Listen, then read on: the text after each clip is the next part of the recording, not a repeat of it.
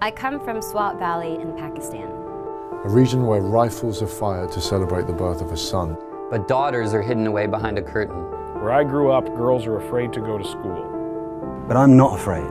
I believe that education is a universal human right. I believe that one child, one teacher, one book, and one pen can change the world. Schools were attacked. I still went. And I spoke out. We realize the importance of our voices only when we are silenced. I was shot on a Tuesday. At lunchtime. One bullet.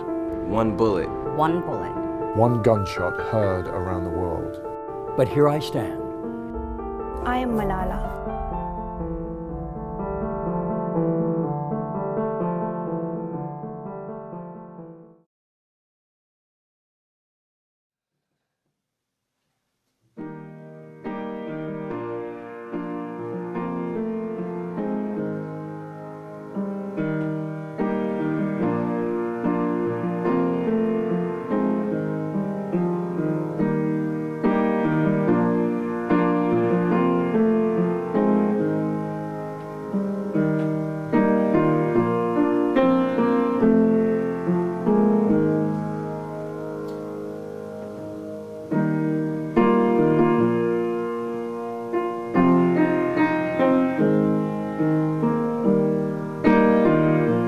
Experts tell us that there's about 35 million people in slavery today.